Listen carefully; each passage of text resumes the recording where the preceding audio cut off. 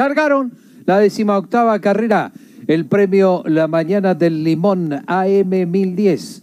Salieron todos los competidores muy agrupados. Busca la delantera a media cancha el competidor número 6.